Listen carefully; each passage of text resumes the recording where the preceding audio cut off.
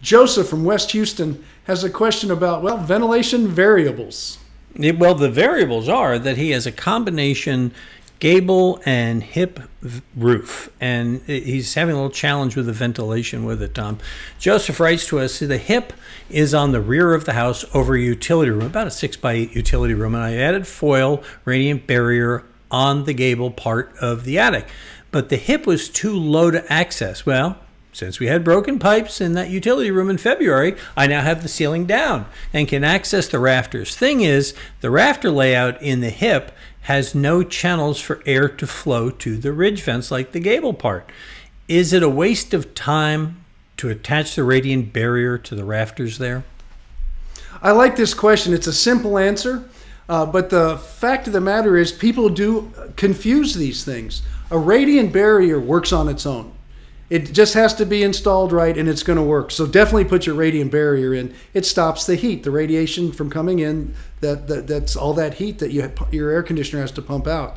It has nothing to do with airflow. Airflow does something totally different. If you can't have it, don't put it in. It's perfectly fine. Radiant barrier will work. Insulation will work. There are three different things. You have conduction, convection, and radiation. Radiant barrier takes care of the radiation. Convection allows the hot air to rise, removes the moisture in the attic, so your insulation, which stops the conduction from the hot and the cold touching, it's, it has an R value, it resists heat flow.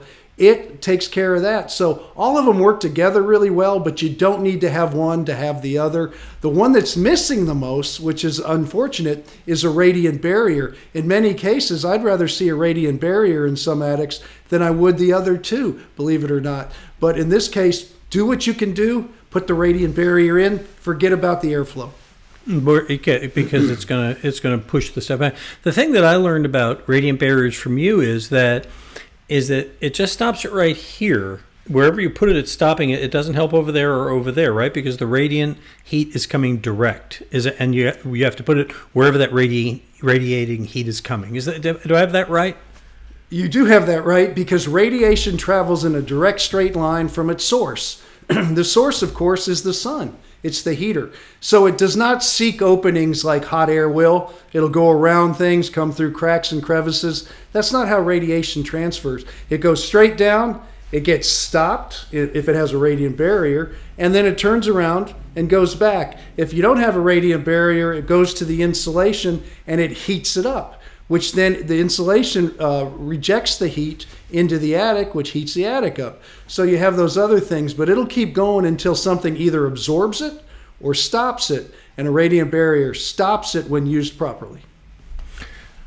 You want to do things properly? Click on that blue Ask Tom button right there. Fill out this form, send in the question. Tom will help you just like that because he was on the right path. Tom just had to kind of like bring him into bring him home. So, and we're happy to Yeah. do that. All right. So go ahead and and, do, and take care, take advantage of Tom. It's free, and he does one every day because he likes to help folk. That's why he's doing this. And uh, we post them every day at HomeshowRadio.com, our Facebook page, and of course, you'll find hundreds and hundreds of them at our YouTube channel. Where, when you're watching them, help us out. Give it a thumbs up if you like. It. It'll help make it easier for other people to find them.